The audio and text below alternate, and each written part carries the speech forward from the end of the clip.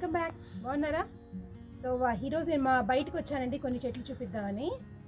మొన్న నా చెట్టు మిస్ అయిపోయా చూపించటము. సో అలాగే గ్రీన్గా ఉంది కదా బ్యాక్గ్రౌండ్ సో ఈ గ్రీన్ వెజిటబుల్ గురించి కూడా మాట్లాడదాం అనుకుంటున్నాను.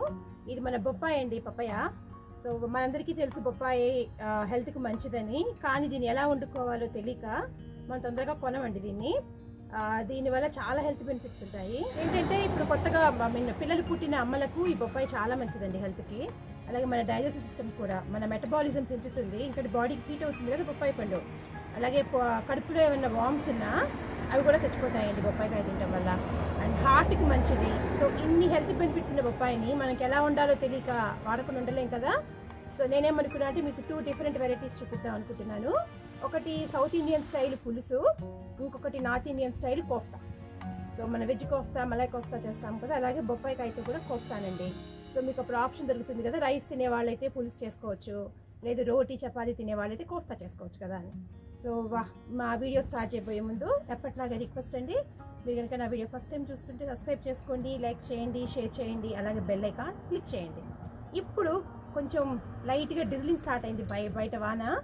మీకు వెనకాల వెనకాల చెట్టు చూపించేసేసి లోపలికి వెళ్ళిపోదామండి. రండి. ఈ చెట్టు పేరు ప్రోటియా అండి. ఇది ఆర్నమెంటల్ ప్లాంట్ అనమాట సో దీని ఫ్లవర్ ఇలా ఉంటుంది.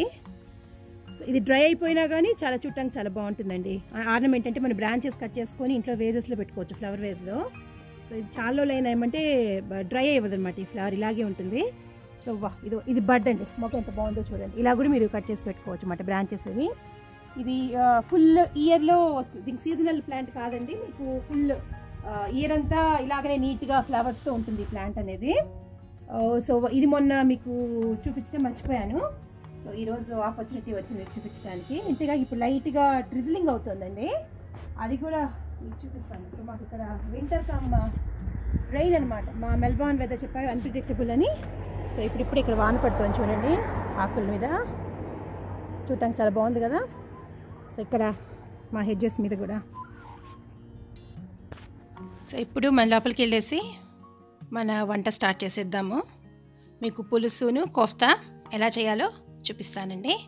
లెట్ స్టార్ట్ ద వీడియో ఇక్కడ ఇలాగా పప్పయాని ర్యాప్ చేసి అమ్ముతారండి. చెడిపోకుండా ఉంటుందని చాలా రోజులు స్టోర్ చేసుకోవడానికి ఈజీగా ఇప్పుడు దీన్ని నేను కట్ చేసేస్తాను.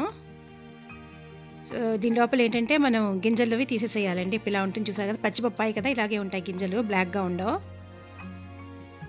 సో ఈ లోపల నా గింజలు అవి నేను తీసేస్తాను. ఆ తర్వాత పీల్ కూడా తీసేసి దాన్ని మనం ఒక హాఫ్తోనేమో పులుసు చేస్తానండి. ఇంకొక హాఫ్తోనేమో నేను కోఫ్తా చేస్తాను. సో ఇలాగ నేను పీల తొక్క కూడా తీసేసాను పప్పయ్యది మీకు చెప్పాను కదా ఇది ఒక హాఫ్తోనే నేను ముక్కలు కోసుకుంటున్నాను. మనం సొరకాయ కోస్తాను చూసారండి అట్లాగనే చిన్న సైజ్ మీడియం సైజులో కట్ చేసుకోవటమేనండి ముక్కల్ని. సో ఇప్పుడు ఈ కట్ చేసుకున్న ముక్కలు నేను కొంచెం పసుపు వేసుకొని కుక్కర్లో పెట్టుకుంటానండి కొంచెం ఒక హాఫ్ స్పూన్ పసుపు చాలు. ఇప్పుడు ఒక టూ టు త్రీ విజిల్స్ అండి ఇది. మరీ మెత్తగా కాకుండా ఒక టూ టు త్రీ విజిల్స్ తర్వాత నేను ఆఫ్ చేసేసుకొని రెడీగా చేసేసుకుంటానండి ముక్కల్ని. ఇప్పుడు నెక్స్ట్ ప్రాసెస్ చూపిస్తాను మీకు. సో ఇప్పుడు నేను ప్యాన్లో ఏంటంటే ఒక వన్ స్పూన్ ఆయిల్ చాలు. మన మామూలు పప్పులో తిరిగి మాతలాగా పెట్టుకోవటమే. కొంచెం ఎండుమిరపకాయలు మినపప్పు పచ్చిపప్పు కొంచెం కొంచెం చాలండి. అలాగే కొంచెం అది వేగాక ఆవాలు జీలకర్ర వేసుకుంటాను నేను.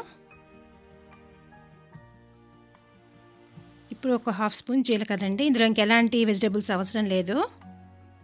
ఉత్తి బొప్పాయితోనే పులుసు చేయటం అండి. ఇది కొంచెం వేగిపోయాక ఇందులో నేను నాలుగైదు పచ్చిమిరపకాయలండి. ఇలా నిలువుగా కట్ చేసుకొని వేసుకుంటున్నాను. ఇంకా విడిగా కారం అవసరం లేదు దీనికి. అలాగే కరివేపాకు. కొంచెం ఇంగువండి ఈ తిరగమాత కొంచెం వేగనిచ్చాక ఇందులో ఏంటంటే నేను ముందే చింతపండు రసం అని తీసి పెట్టుకున్నాను. ఒక two two two three spoons అండి. కొంచెం నీళ్ళు ఎక్కువ కలుపుకొని అందులో ఆ రసం ఇందులో వేసుకోవటం అండి. పులుసు కదా మనకి చింతపండు రసంలోనే ఉడికించుకోవాలి అది. ఇప్పుడు ఇది బాగా ఉడికిపోయాక ఇందులో కొంచెం పసుపు అలాగే మన రుచికి సరిపోయేంత ఉప్పు అండి. అంటే మనము ఆ పప్పయ్య ముక్కల్లో కూడా ఉప్పు వేసుకోలేదు కాబట్టి దీనికి ఇందులో వేసే ఉప్పే సరిపోవాలన్నమాట. అలా చూసుకొని వేసుకోండి. ఇప్పుడు అందులో మనం ఉడకబెట్టుకున్న బొప్పాయికాయ ముక్కలు వేసేస్తున్నాను. చాలా సింపుల్ అండి పులుసు చేయటం. ఇంకెలాంటి కూరగాయలు నేను దాంతో వేయట్లేదు. ఆనియన్ కానీ టమాటో కానీ ఏం అవసరం లేదు. ఇప్పుడు ఒక ఇది ఫైవ్ టు టెన్ మినిట్స్ ఉడకబెట్టుకోవాలండి మూత పెట్టేసుకొని.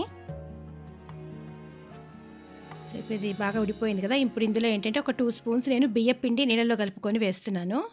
బియ్యపిండి ఇష్టం లేని వాళ్ళు మనం శనగపిండి కూడా కలుపుకొని వేసుకోవచ్చు. ఇదేంటంటే చిక్కదం కోసం అండి. పులుసు చిక్కగా ఉండాలి కదా కొంచెం.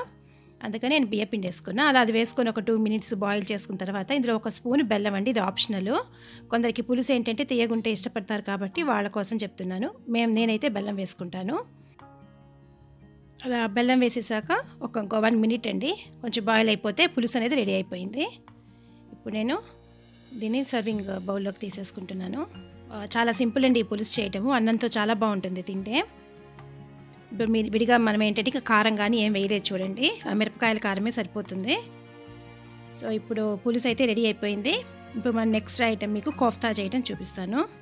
ఇప్పుడు రెండో హాఫ్ నేను ఇలాగ తురుముకుంటున్నానండి. తురిమేసుకున్న తర్వాత ఇలా వస్తుంది. ఇప్పుడు దీని ఏంటంటే మనం ఒక ఫైవ్ టు టెన్ మినిట్స్ మూత పెట్టి వదిలేస్తే బొప్పాయిలో ఉన్న నీరంతా కారిపోతుందండి. ఇంకోటి ఇలాగ ఒక టెన్ మినిట్స్ తర్వాత ఏంటంటే ఇప్పుడు ఇదంతా నీరు కారుతుంది. అదేంటంటే మనం పిండేసుకోవాలండి. కోఫ్తా చేసేటప్పుడు ఏంటంటే అందులో నీరు అనేది ఉండకూడదు. ఉంటే మనకి కోఫ్తా బాల్స్ బాగా రావు. ఇలా గట్టిగా పిండుకొని సపరేట్ చేసేయాలి వాటర్ని ఈ గ్రేటెడ్ పపయాలోంచి. అలాగ మొత్తం గట్టిగా పిండేసుకోండి. మీరు ఈ వాటర్ని విడిగా పులుసులో కూడా వాడుకోవచ్చండి. ఈ వాటర్ వేస్ట్ అవ్వకూడదు అనుకుంటే. సో ఇప్పుడు అంతా నేను వాటర్ అయితే తీసేసాను ఇందులోంచి. ఇప్పుడు ఇందులో వేయాల్సినవి చూపిస్తాను మీకు నేను. ఇలా పొడి పొడిగా ఉండాలి. సో ఇందులో ఏంటంటే బాగా సన్నగా కట్ చేసుకున్న ఆనియన్స్ అండి. మీరు చాలా ఫైన్గా చాప్ చేసుకోండి అది. అలాగే పచ్చిమిరపకాయ. అవి కూడా సన్నగా కట్ చేసుకొని వేసుకోండి. ఇప్పుడు ఇందులో ఒక స్పూను పసుపు అలాగే ఉప్పు మన రుచికి తగ్గట్టుగా అండి. ఈ కోఫ్తాకు సరిపోయేంతగా ఉప్పు వేసుకుంటున్నాను నేను. అలాగే జీలకర్ర ధనియాల పొడి కొంచెంగా కారం. అలాగే ఒక రెండు స్పూన్స్ ఏంటంటే నేను శనగపిండి అండి బైండింగ్ కోసం అని వేసుకుంటున్నాను. ఇంక ఇందులో గార్లిక్ జింజర్ పేస్ట్ అవసరం ఉండదు. ఇలా శుభ్రంగా కొంచెం మిక్స్ చేసుకున్న తర్వాత నేను చేత్తో కలుపుకుంటాను. సరే ఇలాగా దగ్గరికి వచ్చేస్తుందండి అందులో ఇంకొన్ని ఎక్స్ట్రా వాటర్తో ఏంటంటే ఆ శనగపిండి కలి కలవటం వల్ల దగ్గరకు వస్తుంది ఇప్పుడు వీటిని చిన్న చిన్న బాల్స్ చేసేసుకోవటమేనండి. సో మనం వేసిన శనగపిండి ఏం చేస్తుందంటే ఇంకేదైనా వాటర్ ఉంటే ఆ బొప్పాయి బొప్పాయిలో అది పీల్ చేసుకుంటుంది అనమాట మనకి డీప్ ఫ్రై చేయడానికి బాగా వస్తుంది అప్పుడు ఇలాగన్నీ బాల్స్ చేసి పెట్టేసుకుంటే మన కోఫ్తా బాల్స్ రెడీ అయిపోతాయండి.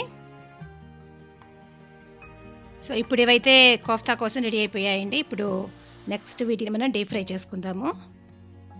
ఇవి మీరు మీడియం ఫ్లేమ్లోనే డీప్ ఫ్రై చేసుకోండి లేకపోతే లోపల ఉడకదు. ఇలాగ ఏంటంటే గోల్డెన్ బ్రౌన్ వచ్చేదాకా మనం ఫ్రై చేసుకోవాలి. నేను ఎయిర్ ఫ్రైయర్లో కూడా పెట్టుకోవచ్చండి మొన్న నేను చూపించినట్లుగా. అయితే అందరి ఎయిర్ ఫ్రై ఉండదు కాబట్టి నేను ఇలా డీప్ ఫ్రై చేసి చూపిస్తున్నాను. కొంచెం అలాగ ఇప్పుడు చూసారు కదా దీనికన్నా కొంచెం డార్క్గా ఇంకొంచెం గోల్డెన్ బ్రౌన్ కలర్లో రావాలండి కోఫ్తా బాల్స్ అందుకని మీడియం ఫ్లేమ్లో పెట్టుకొని కొంచెం ఫైవ్ టు టెన్ మినిట్స్ పడుతుంది.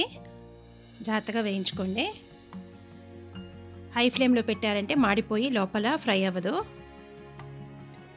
సో మన ఇవి ఇవి కూడా రెడీ అయిపోయాయండి.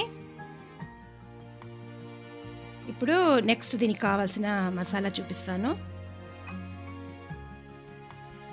ఇప్పుడు ఇంకేంటంటే ఏంటంటే నేను ఇలా జీడిపప్పు అనేది ఒక టెన్ టు ఫిఫ్టీన్ నానబెట్టుకున్నానండి నీళ్ళలో ఒక హాఫ్ అన్ అవర్. దాన్ని మనం గ్రైండ్ చేసి పెట్టుకోవాలి. ఒక టూ స్పూన్స్ ఆయిల్ తీసుకుంటున్నాను. నేను ఆలివ్ ఆయిల్ వాడతానండి వంటకి. అలాగే ఒక నాలుగు యాలకులు కొంచెము దాల్చిన చెక్క అండి అలాగే బే లీవ్స్ కొంచెం నేను హాఫ్ స్పూను జీలకర్ర కూడా వేసుకుంటున్నాను. ఇది కొంచెం ఫ్రై అయిపోయాక ఇందులో మిర్చి ఈ మిరపకాయలు అనేది మీ ఆప్షనల్ అండి. కారం ఎక్కువ తినని వాళ్ళు వేసుకోవద్దు. నేను అందుకే కొంచెమే వేశాను. అది ఫ్రై అయ్యాక ఆనియన్ అండి. ఇవి కూడా అంతే కొంచెం సన్నగా కట్ చేసుకున్న ఆనియన్ వేసుకోండి. ఒక చిన్న ఆనియన్ ఒకటి చాలు. అందులో కొంచెం హాఫ్ స్పూన్ పసుపు వేసుకుంటున్నాను. అలాగే కొంచెం సాల్ట్ అండి. మనం ఎప్పుడైనా ఉల్లిపాయలు సాల్ట్ వేస్తే తొందరగా వేగిపోతుంది. ఇది కొంచెం ఫ్రై అయిపోయాక అలాగే ఒక వన్ టమాటో ఒక పెద్దదైతే కనుక ఒక ఒక టమాటో సరిపోతుంది. ఇది మొత్తం ఇలా ముషిగా అండి. కొంచెం బాగా ఫ్రై అయిపోయాక ఇప్పుడు నేను ఇందులో గార్లిక్ జింజర్ పేస్ట్ చేస్తున్నాను. ఇది మీరు ముందుగా కూడా వేసుకోవచ్చు. అది మొత్తం బాగా ఫ్రై అయిపోయాక అందులో నేను ఒక ఒక స్పూను గరం మసాలా వేస్తున్నానండి. ఇలా మెత్తగా అయిపోవాలండి. చూడటానికి గ్రేవీ మీకు. అందుకే కొంచెం సిమ్లోనే పెట్టుకొని ఫ్రై చేసుకోండి. అందులో నేను ఒక ఒక గ్లాసు వాటర్ పోసుకుంటున్నాను. మనకు గ్రేవీ కదా కావాలి కదా కోఫ్తా కోసం. అందుకని ఇలా కొంచెం వాటర్ పోసుకొని బాయిల్ చేసుకొని ఇందులో ఇందాక మీకు చెప్పా కదా ఆ కాజు పేస్ట్ అనేది ఇందులో వేసేసుకోండి. జీడిపప్పు మనం జీడిపప్పు నానబెట్టుకున్నాము దాన్ని గ్రైండ్ చేసుకొని ఆ పేస్ట్ ఇందులో వేయాలండి. అప్పుడే మనకి అలా క్రీమీగా ఉంటుంది కోఫ్తా అనేది. ఇది కొంచెం బాగా బాయిల్ అయిపోతే ఇందులో మనం కోఫ్తా బాల్స్ వేసేసుకోవటమేనండి. టేస్ట్ అనేది చాలా బాగా వస్తుంది మన మామూలు వెజ్ కోఫ్తా మలై కోఫ్తా ఫ్లేవరే ఉంటుందండి. అసలు ఎవరు నమ్మరు మీరు బొప్పాయి కాయతో కోఫ్తా చేశారంటే. ఇందులో ఇంకా చివన దింపుకోబోయే ముందు ఈ కసూరి మెత్తి నేను ఎప్పుడు ఇదే వేస్తాను ఫ్లేవర్ చాలా బాగుంటుంది. అలాగే ఏంటంటే మీరు ఈ కోఫ్తా వేసాక ఎక్కువసేపు ఉడకనివ్వద్దండి. అవి విరిగిపోతాయి బాల్స్. సో ఇప్పుడు మనం అది సర్వింగ్ బౌల్లో తీసేసుకుందామండి. కోఫ్తా కూడా రెడీ అయిపోయింది. సో ఇదండి ఇది మీకు చపాతీలో కానీ రోటీతో కానీ తింటే చాలా బాగుంటుంది కోఫ్తా. తప్పకుండా మీరు ట్రై చేయండి. ఇది ఒక డిఫరెంట్ వెరైటీ అని నేను అనుకుంటున్నానండి. ఇది కోఫ్తా ఇలాగ బొప్పాయితో కోఫ్తా చేసుకోవటం. సో ఇప్పుడు మనం ఈరోజు చేసేసాం కదా బొప్పాయితో పులుసు పెట్టేసుకున్నాము రైస్ కోసమని. అలాగే బొప్పాయితో కోఫ్తా కూడా చేసేసామండి. సో ఈ రెండు మీరు తప్పకుండా ట్రై చేయండి. ఎలా వచ్చిందో నా కామెంట్ బాక్స్లో చెప్పండి. నెక్స్ట్ డే ఒక మంచి వీడియోతో కలుద్దాము. Take care stay home bye